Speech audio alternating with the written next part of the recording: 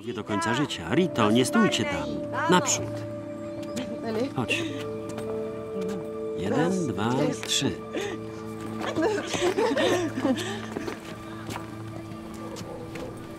Podejdziemy do nich? Idź sama. Na pewno?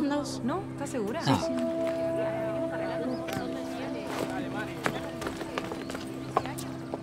Nie idziesz do przyjaciół? Nie są moimi przyjaciółmi. Lubię Isabel, bo odrabia im pracę domową, a ty odrabiasz jej. Dlatego jesteś najlepsza w klasie.